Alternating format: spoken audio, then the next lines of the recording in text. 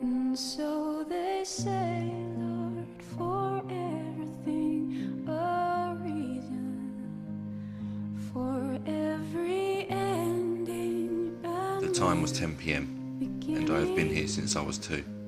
I'm 24 now. Oh, the place, A void behind my old wooden fireplace.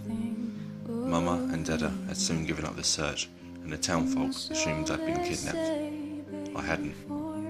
If I kept really quiet and refused my thoughts of the righteous reason for being, I can sometimes hear my mama crying my name, 22 years on. I probably still look like a wee one, but my thoughts have matured. I haven't died, at least I don't smell like it, but I am stuck somewhere between life and death.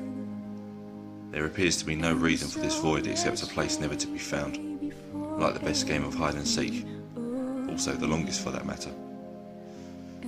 I have since reasoned it to be a place designed by the demon himself, to cause agonising torture for myself and that of my parents. I no longer feel torture or torment. 22 years is a long time. I don't eat, not that I need to. As I said, I'm stuck in the middle. Dada had hit the bottle since I left. That old bourbon, his new baby. Dada suggested they sold the house, but that was Mama's new baby, the memories it held.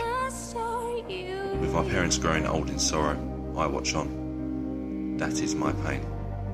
Not this black hole, but their loss of me.